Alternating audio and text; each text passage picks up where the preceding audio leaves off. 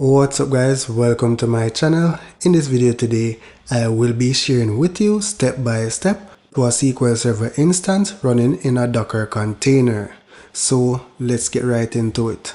We're going to be taking a look at how we can migrate a database using the method of exporting and importing a BACPAC file. In simple terms, a BACPAC file is a zip compressed archive that contains Microsoft database, schema, and data.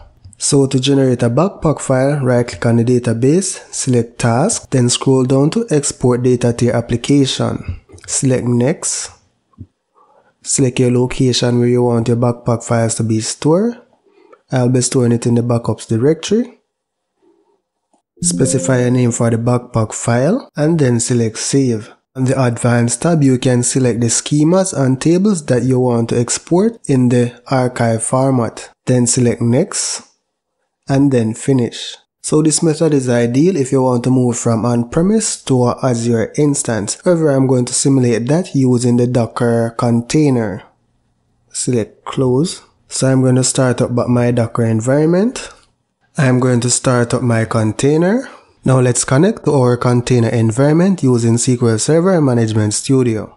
So the port for the Docker is 1432, it's running on localhost and I'm connecting with the SA password. To import the BACPAC file, right click on the database, select import data to your application, then select next, then browse for the BACPAC file,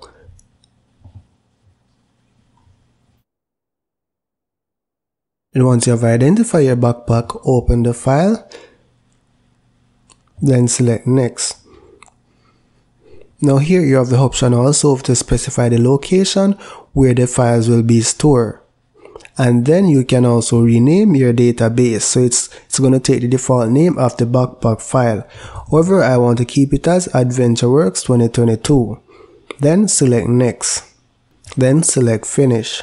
So guys when you practice these stuff these are the actual things that you'll do within the organization. So my operation is complete so let's close.